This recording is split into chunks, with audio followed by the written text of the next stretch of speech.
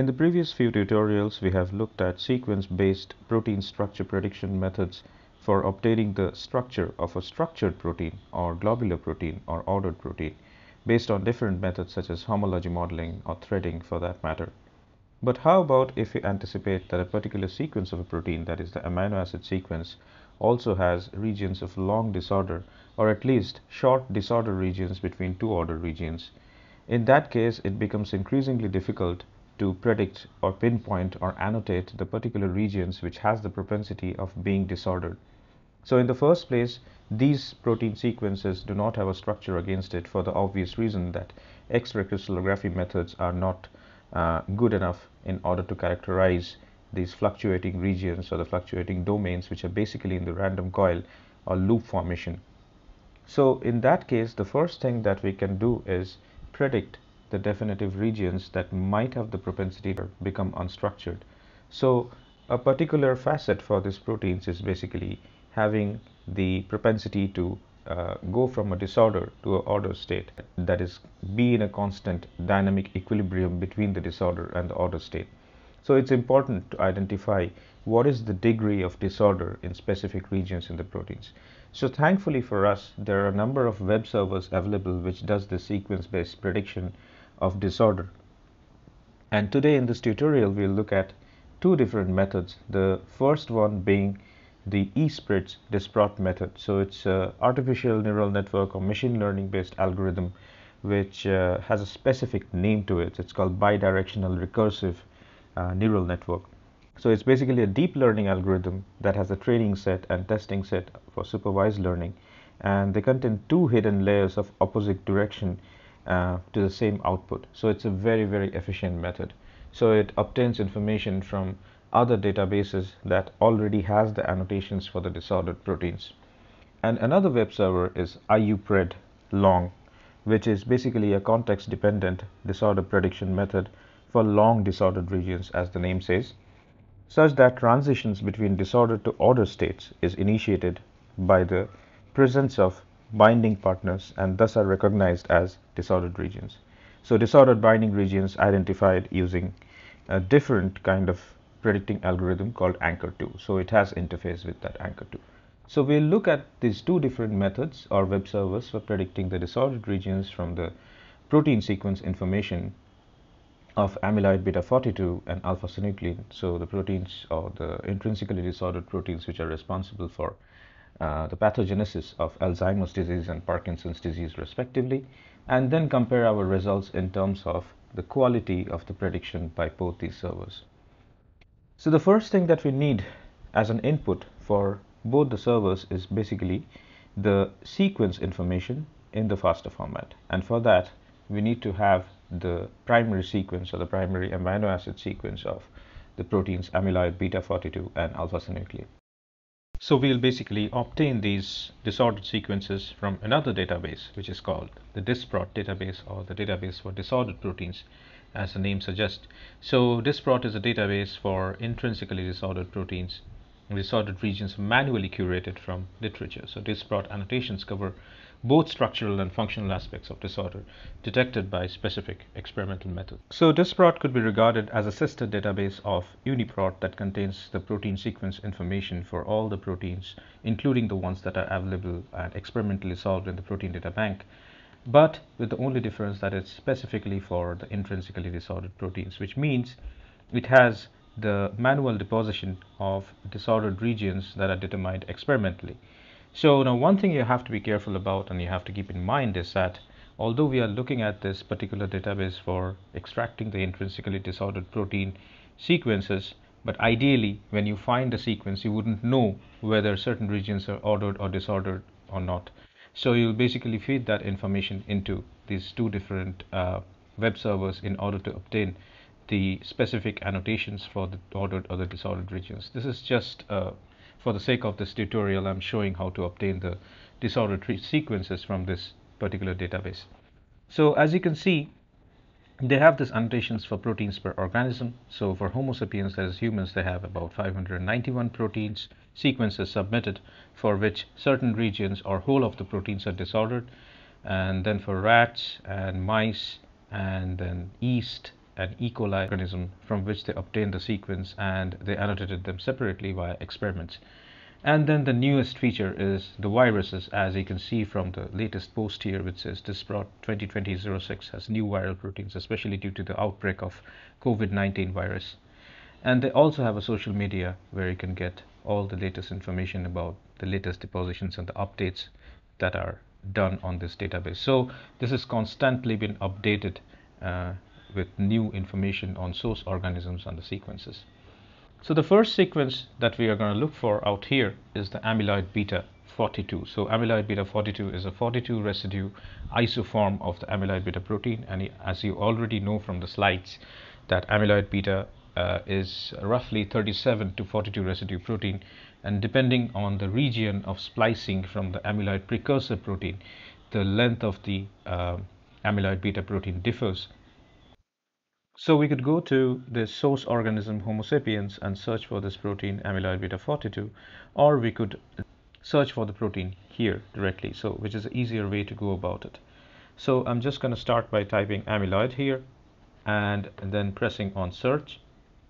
So it will bring you to the next page where you have a list of the protein that it found hits for and probably uh, have the disordered regions annotated for them in whole or in parts. As you can see, the first hit that you get is actually alpha-synuclein because it belongs to the class of amyloid proteins.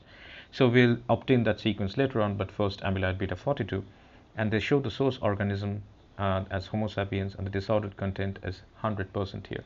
So we'll check that with the predicting web server for the disordered regions, whether they match up to what the annotations are via the experiments. So that'll give us an idea about the quality of the prediction that these methods do. So, and the next we find transcriptor factor GA, GA, which is also probably part of amyloid. And what we are looking for is amyloid beta, which are these two hits that we get out here. So the first you have the Disprot ID, which is specific for this database out here. And then you have the UniProt accession code. So as I said that it's a sister database for, of UniProt. So you all also have the UniProt accession code alongside and the source organism is Homo sapiens, so this is what we are concerned about. And the state here that the disordered content is actually 5.19%, which is very, very less compared to that of alpha-synuclein. So one possible reason could be that amyloid beta 42, although uh, predominantly disordered in nature, but it, it has the propensity of sampling ordered regions, let's say the secondary structures like alpha helix or beta strands, uh, during the course of their evolution in the structural dynamics feature. So we'll check that with the predicting methods. So let's go ahead and click on this protein name because this is what we are looking for obtained from Homo sapiens. So once we click on it, it will bring you to a page with information about the specific protein, which in our case is the amyloid beta precursor protein. And as you can see, the sequence length for this is 770 residues, which means that by catalytic cleavage, of certain regions, especially in the C terminal of this protein, we will we can obtain the amyloid beta 42 isoform of this protein or the peptide which we are interested in specifically. And you can see the disordered content as well as we have seen previously to be 5.2% annotated. So if we move down further, we find the PFAM and Gene3D domains annotation. So that's a different annotation for the uh, binding regions that are there and also the nature of the protein. That is, it shows that this portion is basically amyloidogenic uh, glycoprotein and it's responsible for heparin binding, whereas you have another copper binding domain, which is basically in the amyloid beta 42, it's uh, 1 to 16 residues, whereas in this fragment, it's especially 131 to 188. So these are useful information to have with regards to the annotations of the disorders, disordered regions. Okay, so if you scroll down further, we'll find all these structural features. So the first being the structural state and the corresponding experiment that was used to solve the structural state. So by structural state, we mean the predominant state in which the protein or the peptide is found. So here we have the term disorder, which means it's predominantly disordered but the state here, highlight here specifically the finding from the experiment which suggests that although it's dynamically disordered structure, but it has high degree of turns and twists, and but it's also without a well-defined secondary structure. So there is propensity for secondary structures, but it's not that well defined.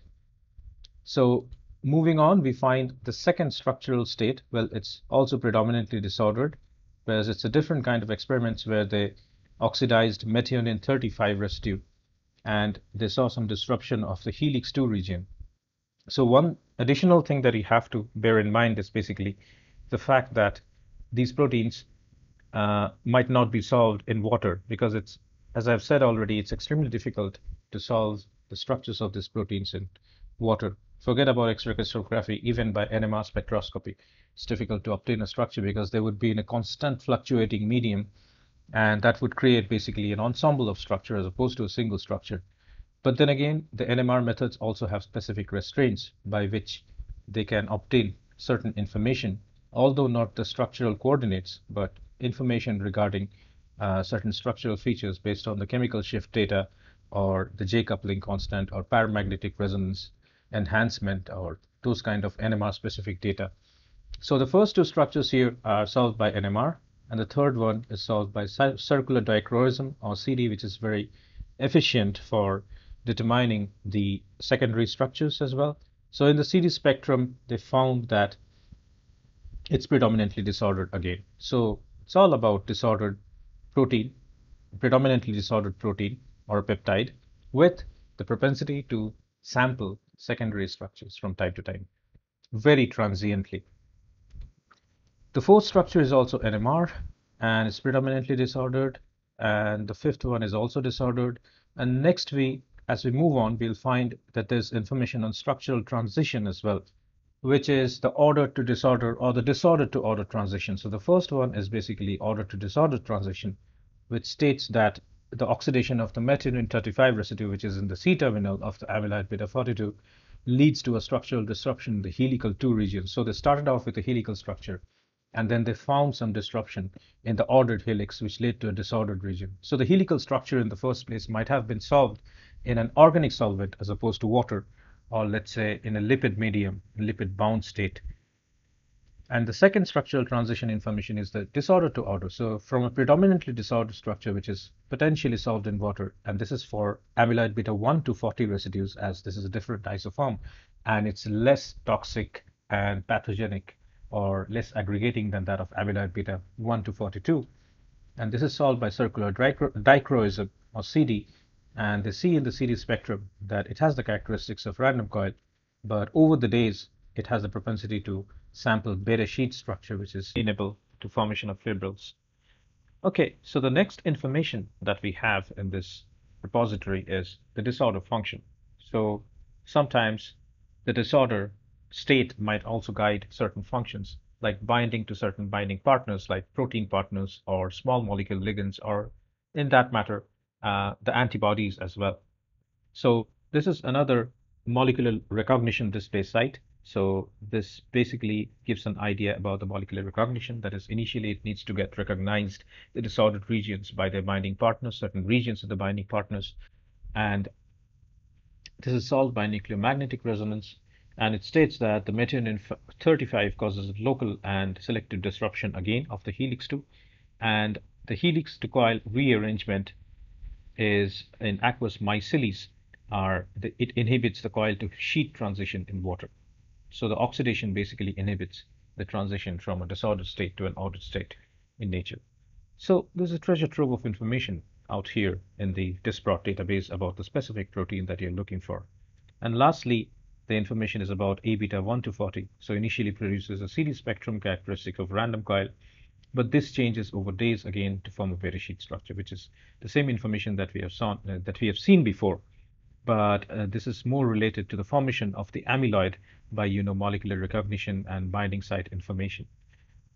Now, another information that you got to look at out here is the fragment. So since this is a precursor protein, it's amyloid beta precursor protein, and so there are definite fragment annotations, which might mean specific regions that might be an isoform, a specific isoform of the amyloid beta protein. The most prominent one is the amyloid beta 1 to 42, but we are not sure that this is the exact region which forms 1 to 42. At least we have to count within these residue regions to find if there are 42 residues or 40 residues or let's say we can go down up to 37 according to the number of isoforms that we have got for amyloid beta peptide.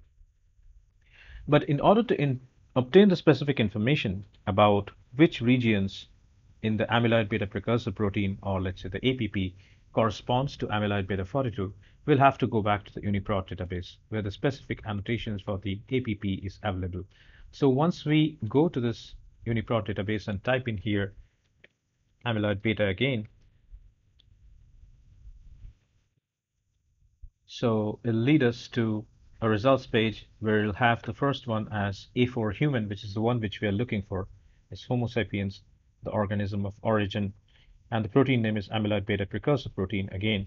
But once we go into this entry, we'll find the specific regions that are annotated, that is, that must be cleaved in order to form that particular amyloid beta isoform. In our case, the one which we are interested in is the amyloid beta 42 peptide. And you can confirm again from the length of this protein as 770 residues for the APP. So we click on this entry, the first entry, and as we scroll down, as you have seen before with the other proteins as well, it contains a lot of information. And the specific information that we are looking for is the annotations of the regions that might correspond to amyloid beta 1 to 42. Okay, so as we are scrolling down, yes. So this is the post-translational modification information that we are uh, interested in. So in the molecular processing, we find that specific chains or the regions within the change. So the signal peptide is the N-terminal region 1 to 17 of the APP, the amyloid beta precursor protein, and followed by other regions that are involved in specific functions or they have specific characteristics the one which we are interested in is the amyloid beta protein 42, which is the 42 residue isoform of the amyloid beta peptide. So this caters to regions 672 to 713. So we'll specifically have to look for this particular region in order to obtain the sequence specific to amyloid beta 42. So if we go back to the DISPROT database and must remember this region, that's 672 to 713, and if we go here and look for those fragmental regions, so the first one is 672 to 711, which means it's basically A beta 1 to 40 and not A beta 1 to 42. If we go down further, we'll find it's uh, the second one is 697 to 711. The one which we are looking for is 672 to 713. So we go down and we look for that region. We cannot find it. We have the information about A beta 1 to 40, which is which ends in 711th residue position, but none of the fragments here end in 713 residue position. So for this particular protein, amyloid beta 42, we'll have to uh, refer to the and rely on the UniProt database. So you can directly click here and it will lead you to a page where it will show the sequence and it will ask you to run a blast search on it, but we don't want that. So we'll basically go ahead and copy this sequence as whole, which is already in the FASTA format, and this is specifically for the 42 residue amyloid beta 42. We'll copy this and then paste it in the web server where we are interested in finding the regions that cater to the disorderliness. So we paste the sequence here. So the first web server that we are interested in is the ESpritz DISPROT. And the second one that we are interested in is IUPRED2A. That's the long format here. So paste the amino acid sequence in the FASTA format here as well. So in case of DISPROT ESpritz, you can paste two sequences one after the other uh, in a separate line. But in case of IUPRED2A, you have to do it separately for each of the peptides. So first we'll do for amyloid beta 42, and then we'll go ahead and do it for the alpha synuclein protein. That's 140 residues long. Okay. So before doing that, let's search for the alpha-synuclein protein in the DISPROT database. So again, we go back to the home page and make a search for alpha-synuclein. So we just type in synuclein and press search lead us to a page where the first hit itself is alpha-synuclein here. Now we won't really have any problem obtaining the full structure for the alpha-synuclein because it's not a cleavage product unlike amyloid beta 42. So it's not generated after the cleavage of a protein precursor. It is generated as a whole, so it is synthesized as a whole protein. containing 1 to 140 residues. And as we have seen earlier, the disorder content is 100%, which means it's disordered with very little propensity to sample secondary structural regions. So we go ahead and click on this protein name. It will lead us to a next page where they will show the sequence directly out here, as you can see. And so if you scroll down further, it'll again give you the information about the structural state, which is more predominance of disorder than the amyloid beta 42 and the fragment is 1 to 103 out of the 140 residues that it has solved by NMR. The next is solved by FTIR or Fourier transform infrared spectroscopy and this has the full fragment of the protein that's 1 to 140 also predominantly disordered. Further down the line if we go over to so there's a lot of structural states for this protein solved by different experimental methods and they have different findings as regard to the regions which might have the propensity to sample certain secondary structure, be it alpha helices or beta sheets. So the structural transition information has the disorder to order transition predominantly and all of them are disorder to order transition as opposed to amyloid beta which also had the information for order to disorder transition possibly because of the initial structure was solved in an organic solvent or a lipid medium. And the interaction partner information has here that it's a lipid binding protein, basically. So it's very amenable to bind the membrane lipids or the surface of the cell membrane in order to show its action. And it's also highly toxic when binding to the membrane lipids. The second information that you have here is also for the lipid binding interaction partner, while the third information is a protein binding specifically, it binds to microtubules or MTs, which are responsible for the interaction with the tubule engine. So this protein, just like the amyloid beta 42, it's not possible to get a complete disordered ensemble of structure uh, when you solve it in water medium, or let's say when you solve it in aqueous medium. So you have also information about the disorder function. So regarding the molecular recognition, if you go down further so it acts as an effective protein as well. So there's a lot of information. Since this protein is more than three times than that of amyloid beta 42 in terms of the number of residue size therefore different regions it has more regions which are facilitating different functions and binding to different kinds of proteins and also undergoing a number of disorder to order transitions for that matter so next thing, we'll obtain the sequence of this protein in FASTA format.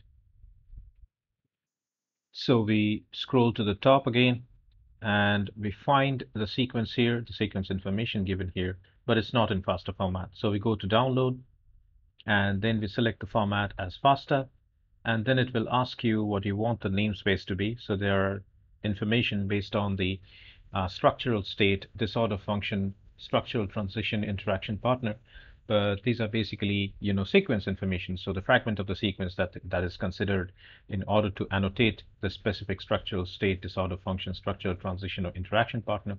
So we'll go for the structural state and we want all the regions in here. So even regions of ambiguous evidence and we don't want to include obsolete regions or uh, let's say we don't want a consensus sequence. So we'll go ahead and download this it'll ask you where to save the sequence. So we basically go to the workspace directory where you will save the sequence. So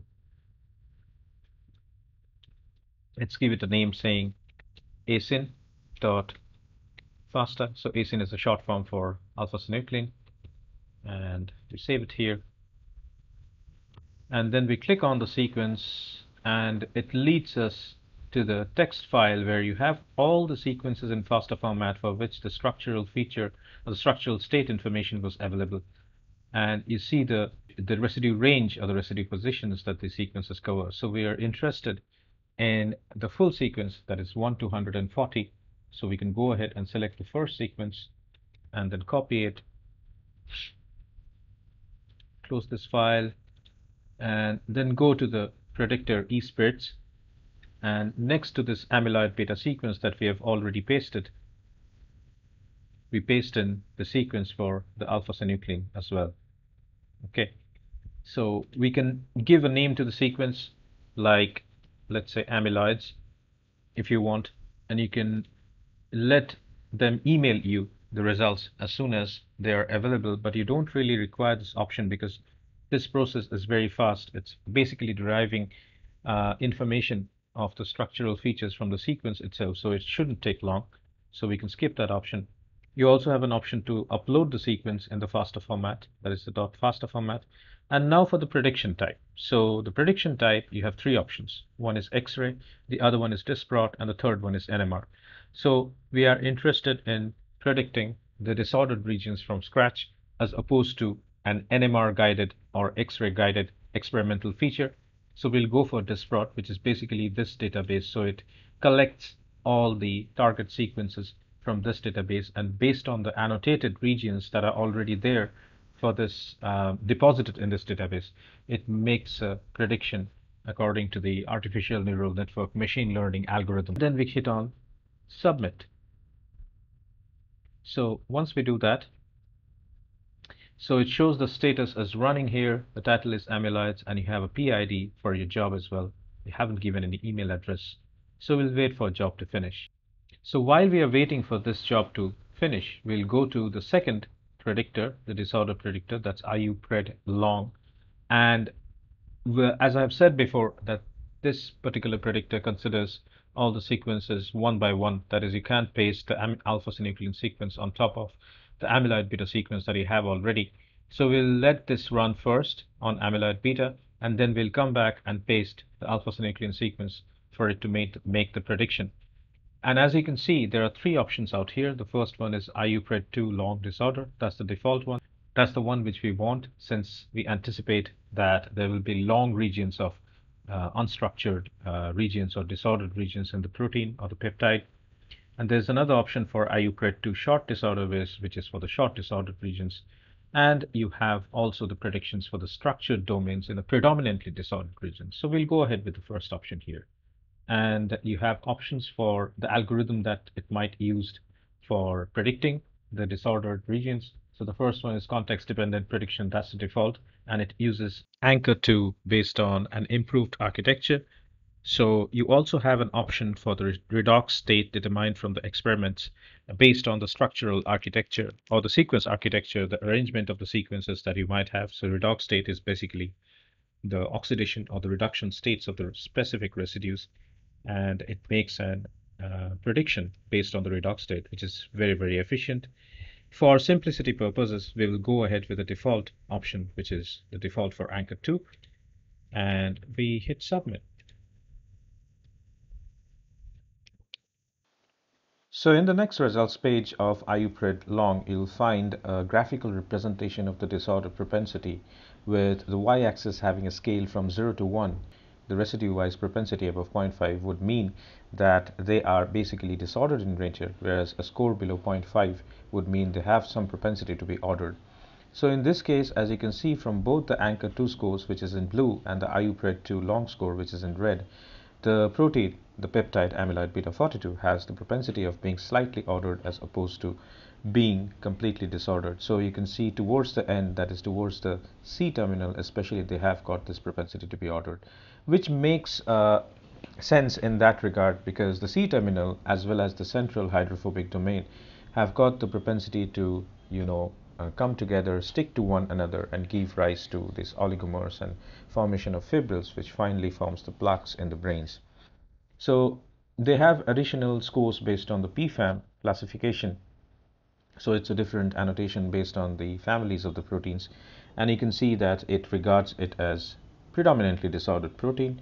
So the name is given here as beta APP, which is basically the precursor protein that we considered in this regard. Then you have an additional option to download the results in the text format. So if you click on download results and go to text, you'll find that it opens up in a new uh, tab on the browser itself and you'll find the residue wise scores given alongside both for IUPRED and ANCHOR and you find that these scores are below 0.5 which means they are predominantly ordered in nature uh, or let's say they have this uh, propensity of uh, converting uh, structure conversion from a disordered state to an ordered state for all of them from 1 to 42.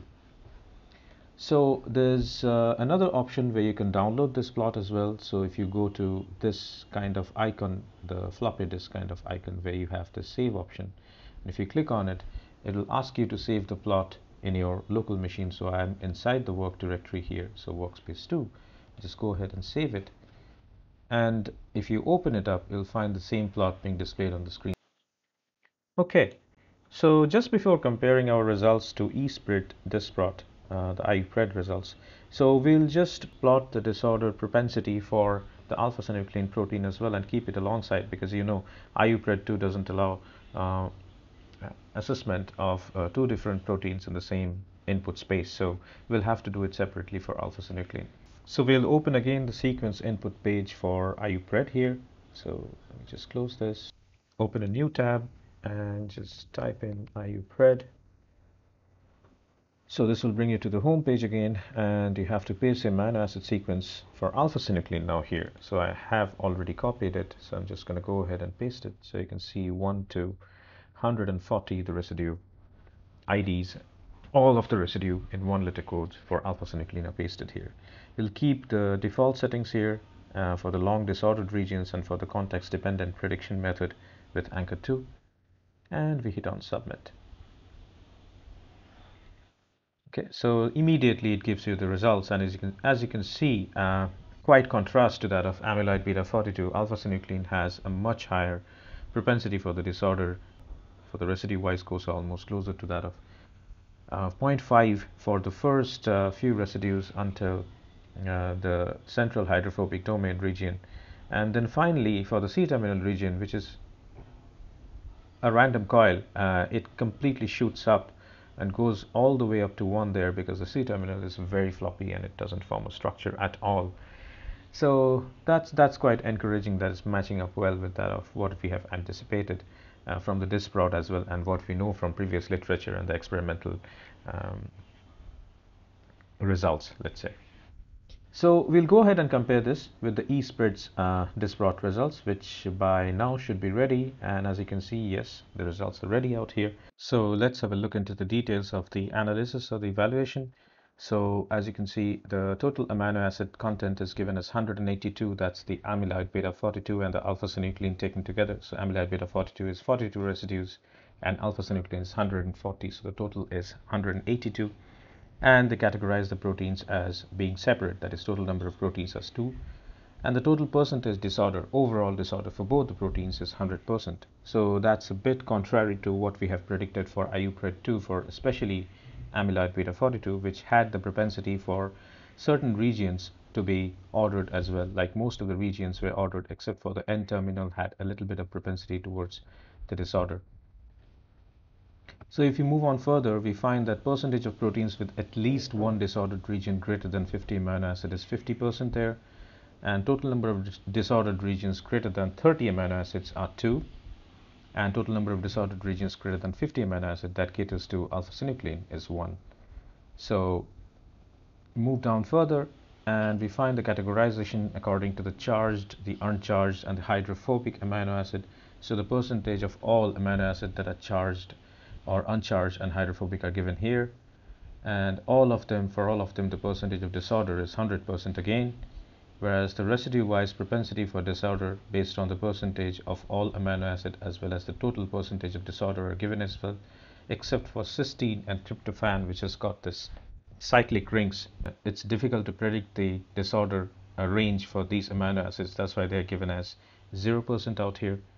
And if you move down further you have further analysis in terms of the histogram of disorder segments. So if we click on this PDF file, you'll find the rank ordering or the rank distribution of the disordered segments. So the first one, amyloid beta 42, is ranked 0, whereas the second one, alpha synuclein, is ranked 1, which means that alpha synuclein has a greater propensity to be disordered than that of amyloid beta 42. So then again, you have the distribution as well for all the amino acids. So here you'll find the percentage of residues in all proteins that have the propensity of being disordered, which you found the information for here already in the tabular form. It's shown in the graphical form out here again. So, uh, but the total propensity, you know, the residue percentage in disorder is 100% here for all of the amino acid residues. So uh, that's uh, the difference between the two methods actually with regards to amyloid beta 42. It's very very difficult to predict the exact disorder content for amyloid beta 42 especially given the uh, short segment that it has and also the uh, propensity for it being uh, more ordered over the course of uh, its uh, trajectory or over the course of its dynamics where uh, the floppy loop regions might sample ordered regions like the secondary structures and which promotes it to bind to another amyloid beta 42 and give rise to aggregation or to other binding partners and small molecules. Okay, so finally we have this links to individual protein pages which is the Disprot ID that we had for alpha-synuclein and the UniProt link that we had for amyloid beta 42 and for both of them again the disorder prediction is 100%. Alright, so we have done the prediction based on the sequence information only for the two disordered proteins or intrinsically disordered proteins, amyloid beta 42 and alpha-synuclein. And based on our analysis, we find that with ESpritz Disprot method, the both the IDPs are chosen to be disordered, like both the IDPs are predicted to be completely disordered mostly, whereas with IUPRED method, which is based on the context-dependent Anchor2 uh, algorithm, it shows that amyloid beta 42 might have some propensity to be ordered in the regions of the C-terminal and the central hydrophobic domain, whereas alpha-synuclein, just like ESpritz Disprot method, has the propensity to be completely disordered.